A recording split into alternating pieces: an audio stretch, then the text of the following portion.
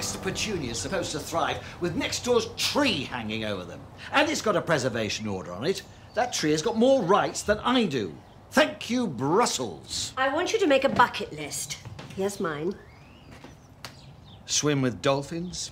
See Michael Bublé in Las Vegas. Swim with Michael Bublé in Las Vegas. You won't do any of this. You've got to aim high, and I've already started crossing them off. Look, number 29, learn to twerk. Something Ellie showed me last night. Right, up, and you go. There. Have you got worms?